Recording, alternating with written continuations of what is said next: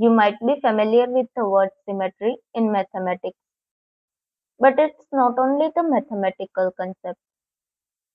If you look into the nature itself, the animals are symmetrical. Leaves and flowers are also symmetrical.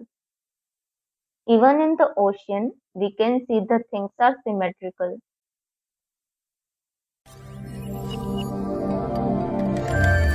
In nature, there are mainly three classification of symmetry found in the living organism. One is bilateral symmetry. The left and right side of the human body is symmetrical. The transformation gives this symmetry is reflection by an imaginary mirror that slices vertically through the human body. The humans are not only the bilateral symmetrical organism, Many other animals like butterfly, dog, cat, even the birds and insects having this kind of symmetry. Second one is the radial symmetry. Radial symmetry is a form of symmetry in which identical parts are arranged in the circular fashion around the central axis. Let's understand it in simple words. And for that, let's take a starfish. If we rotate it through 72 degrees around an axis through its center, we end up with the object that's identical to the original one.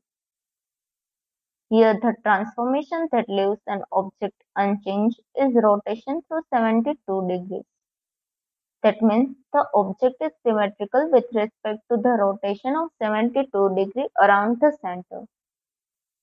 We can see this kind of symmetry in some sea urchins, some jellyfish, starfish, and even in the flowers. It's kind of rotational symmetry in mathematics.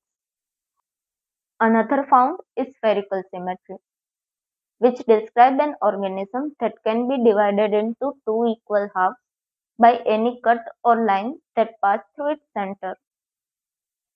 From an organism that exhibits spherical symmetry, its body must be shaped like a sphere. Roughly speaking, you can think of a sun as having spherical symmetry.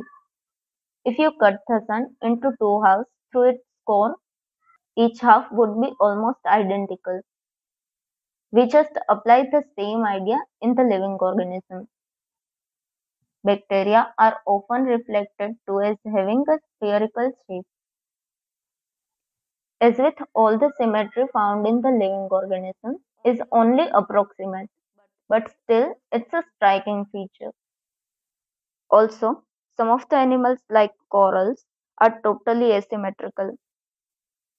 Not only nature, but men also love symmetry.